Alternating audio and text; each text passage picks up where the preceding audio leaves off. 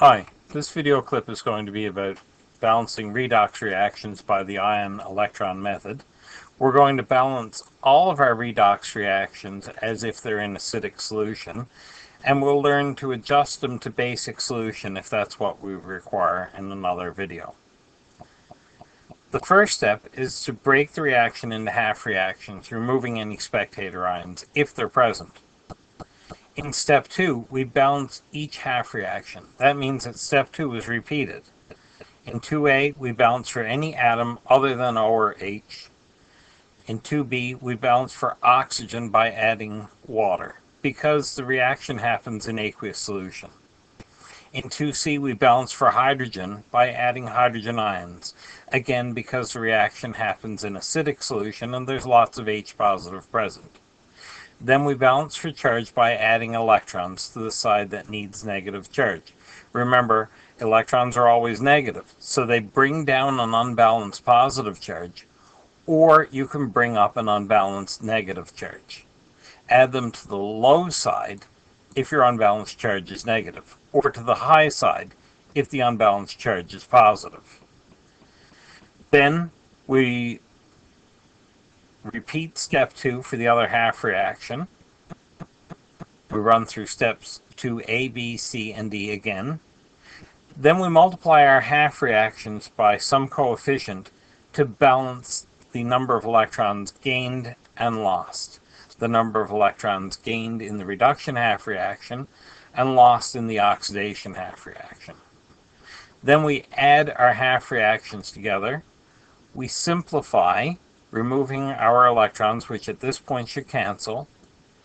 We adjust water and hydrogen if necessary, and we check our result, and in the end we'll know if we have a correct solution or not.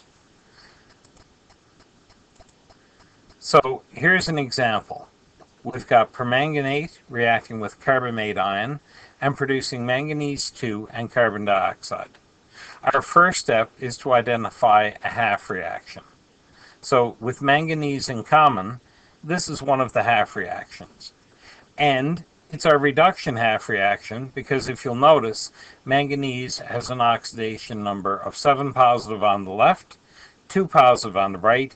It is being reduced. So we expect to see a gain in electrons in this half reaction or electrons appearing on the left-hand side. The first step in 2A is to balance for species other than O or H. We see that the manganese is already balanced, so we can go on to 2B. In 2B, we balance for oxygen by adding water to the side that needs it. We see that the right side needs oxygen, so we add 4 water. The next step, 2C, is to balance for hydrogen by adding hydrogen ion to the side that needs it. Here we see the left side needs hydrogen ion. It needs eight hydrogens. And then 2D is to balance for charge by adding electrons. If we look at the net charge, we have eight positive on the left and one negative. We have a net charge of seven positive on the left. We have two positive on the right. Because the unbalanced charge is positive, we need to add electrons to the high side in other words, I add five electrons here so that the left-hand side is at 2 positive, the same as the right. We did get the electrons on the left-hand side, which is exactly what we were expecting in our reduction half reaction. The next half reaction has carbamate and carbon dioxide. We repeat step two for the second half reaction. So 2A requires us to balance for species other than oxygen or hydrogen. I need a 2 right here to balance my carbon. In the next step, balancing oxygen, I see no action is required. I have 4 oxygen on the left and 2 times 2, 4 oxygen on the right. I don't need to take any action or add any water here. I also don't need to add any hydrogen. There's no hydrogen in this reaction. So we're on to 2D now, which is to balance our charge. This time our unbalanced charge is a 2 negative charge on the left, so I need to add electrons to the right side to compensate or to balance the electrons. Here, carbon had an oxidation number of plus 3 and it increases to plus 4 on the right hand side.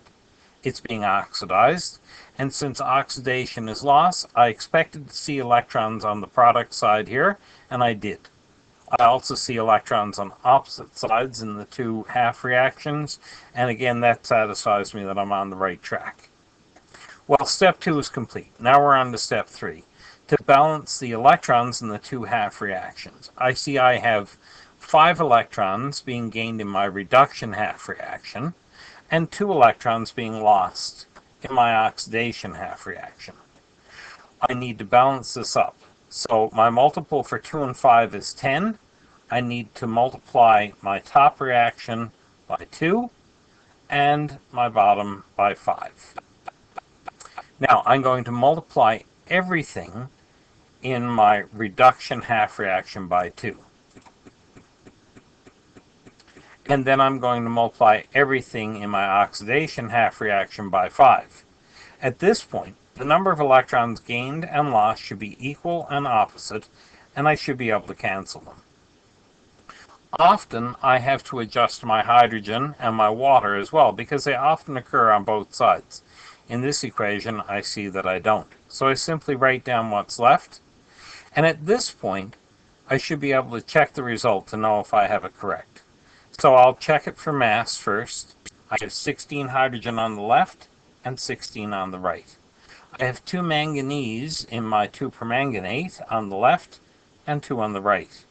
I have 8 oxygen and another 20, 28 on the left, and 20 and 8 on the right.